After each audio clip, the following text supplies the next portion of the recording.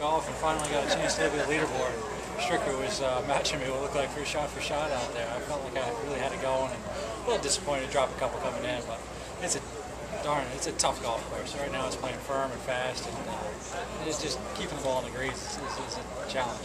What's your mindset? Obviously, uh, he's the guy you probably will be chasing tomorrow. Just your mindset, anything can happen.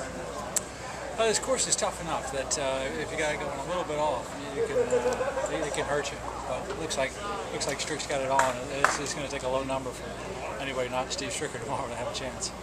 Now, what are you playing off from some of the guys off some of the tees playing two irons, three woods off a lot of the par fours, and some of the, just because they're blowing through on the fairways into the rough? I still hit a lot of drivers. Um, I, I probably hit more drivers than most guys. Thanks, guys. Thanks,